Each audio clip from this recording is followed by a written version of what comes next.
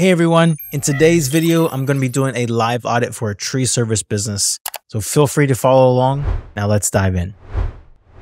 Okay, so we're going to be reviewing these few campaigns for this account and for the last 30 days. So a few things that I'm noticing here are the conversion rates. And I'm just going to focus on these top two campaigns because these are the ones that have spent the majority of the money budget for these 30 days. First off, looks like we have a major conversion issue of 1.72%. And then this is pretty, this is not the greatest as well. We'll confirm tracking is set up properly and that we're seeing the proper conversion actions coming through. So yeah, let's dive into this. We're going to look at structure. We're going to look at settings. We're going to look at a little bit of everything on this campaign. So I see that the, this company has tree service, tree trimming, pruning, arborist, tree removal, fire abatement, emergency tree service. So Looks like the ad groups look good at first glance. It looks like they are breaking these out into different service services that the uh, company provides. But let's dive in a little bit deeper and see how they are breaking these out based on the keywords. Yeah, keywords look good. Exact match, a phrase match looks good.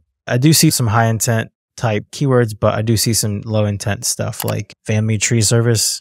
This doesn't like necessarily say I'm ready to hire a tree service company. We want keywords that are going to be coming from someone who's searching, who's ready to hire a company. So best tree service, arborist tree service, like they're looking for a service. It could be like professional tree service near me. We could do some of those tree care service near me or tree care near me. It looks like they has tree service near me. So that's good getting to that. But one thing I would say is I would definitely drop a lot of these uh, low intent type keywords. It's just going to pretty much waste money feel free to test them, but most likely you're going to see a lot of uh, search terms that are irrelevant coming through. So yeah, that's my uh, my take on that. Let's take a look at the ads on these. So it's good. They do have three RSAs inside of this ad, so that's great. So I'm looking at family owned tree service. Okay.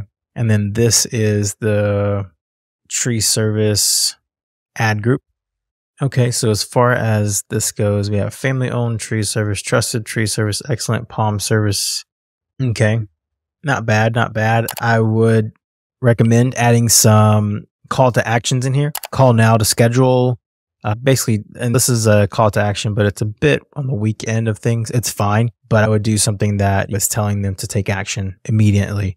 And then also, I would drop in some like more unique value propositions like family owned tree service. And then I would also get rid of this pin. Allow Google to rotate through these RSAs allow them to choose what headlines combination and what descriptions are going to be doing best based on whatever keywords coming in or whatever person is uh, searching whatever device. So it's a lot of different data points so that they're crunching there. Maybe a few more like unique value propositions, same day service available, 24 years in, in business, but just something like that to make your business stand out. They really go a long way. So that's that. Uh, descriptions look pretty good. Feel free to ha- have some strong call to actions in the descriptions. Just call, call now, call now to schedule, or just even just call now is fine. Or uh, yeah, th- here's one here. Let's replicate these in all the descriptions. Call us, tell us today, or call now. Call now to schedule. Tell them what action you want them to take in this, and that helps these these ads out quite a bit. So let's take a look at the assets that they have. Okay, it looks like we are using assets. So that's good. Site links, yeah, I can tell this is going directly to a just a regular website.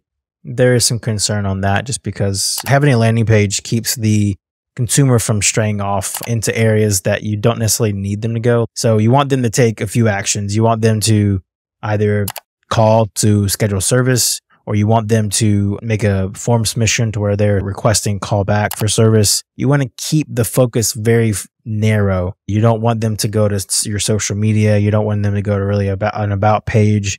You can have an about section on one landing page. Landing pages convert much better than the typical uh, just company website. So highly recommend setting up a landing page that is focused on the actions that you need to take with strong call to actions, strong headlines, great images, high image quality, speaking to what services the company provides. Then, of course, brand it, use trust badges, things like that to help really build trust between the business and the consumer looking at potentially hiring the business.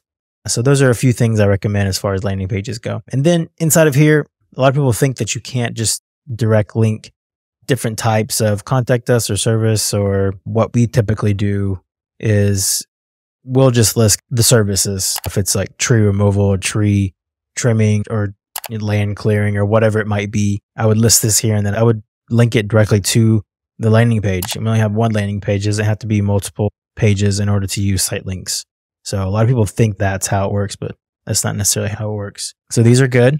I like these. The call outs are good. Like got some call to actions there. So that's good. You are using a call asset. So that's great. Definitely make sure this is working. Let's actually, I'm just curious here. Let's see. Yeah, I would recommend tracking this. I would make this a call to action that is specific to the phone number. So call extension lead, something like that. You would want to use that in order to track these calls because we want to know exactly where the leads are coming from. We don't want to like have to question that. I just, I would keep that in mind. Okay. Let's look at the, let's go back a little bit actually. I'm assuming that just covering one of these campaigns is probably going to be fine. But let's let's look at these other ad groups really quick. These are doing some of the same things, but I gave you some good tips in the other ad group. These are going to those are also relevant for this ad group, th- those tips. And then the same with the ads themselves. So let's check out the settings really quick. All right, targeting. It's great. Max clicks is great. But once you do have 15, 20 conversions that are good, high quality conversions, I would recommend shifting over to target CPA. So it's max conversions with a CPA cap. And I would say only if you're having very high CPAs. If you're not having high CPAs and Max Clicks is doing it for you, don't bother it. It's working. I would leave it at that point. But if you do have high CPAs, I recommend using TCPA, which is just this right here. Max conversions. And you click this and then you would set an actual CPA there. So pretty simple. One thing I would recommend with the ad groups here is try testing some geo ad groups. Some of your larger cities that you're targeting. Let's say you're in Atlanta.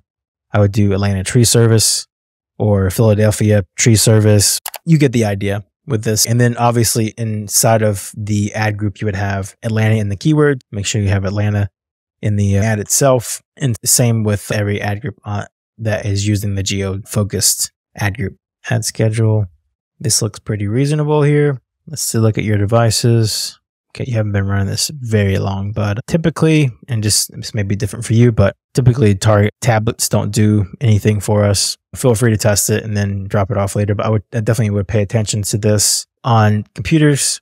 Sometimes they do they perform okay. Sometimes they just perform terribly. Depends on the market and a lot of different factors. So just keep an eye on these as you as you have more data. Then on advanced bidding here, it looks like you have pretty cheap calls coming in. Make sure you are doing your advanced bid adjustments. A lot of times these leads come in pretty cheap.